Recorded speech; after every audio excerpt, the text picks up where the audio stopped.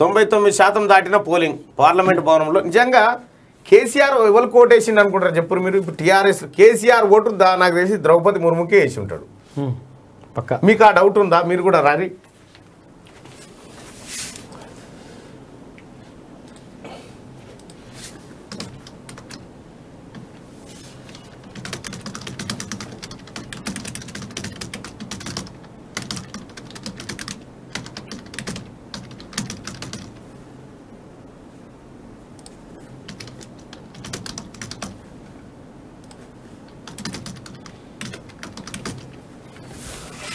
Right ఈ ఓటింగ్లో పాల్గొన్నారు. ఎందుకంటే అవి సపరేట్ లెక్క పెడితే మన కాక దొరకగానే సపరేట్ లెక్క పెడతలేరు కదా.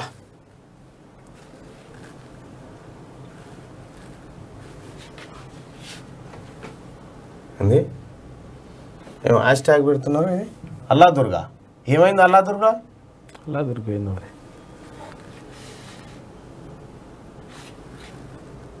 అల్లాదుర్గులేమా రాష్ట్రపతి ఎన్నికల్లో కేసీఆర్ ఎవరికి ఓటు వేశారని మీరు భావిస్తున్నారు? ద్రౌపది ముర్ము కేసీని అనుకుంటారా యశ్వంత్ సిన్హా కేసీని అనుకుంటారా? ఎందుకంటే కేసీఆర్ అన్ని చీకటి రాజకీయాలు ఉంటాయి కదా ఆ డౌట్ తోటి.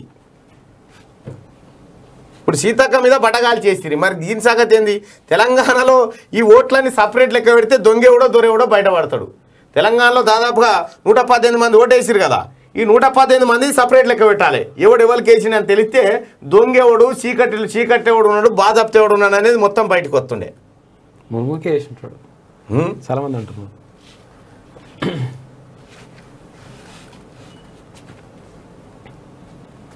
అనుమానం మీ అభిప్రాయం?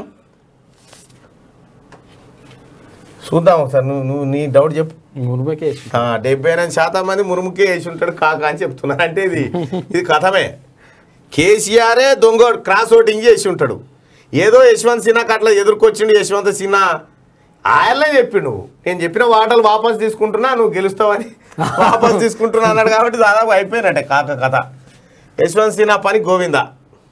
మురుగుకే వేసి ఉంటాడు. ఏ లేకపోతే గట్టి ఎందుకుంటుంది కథ.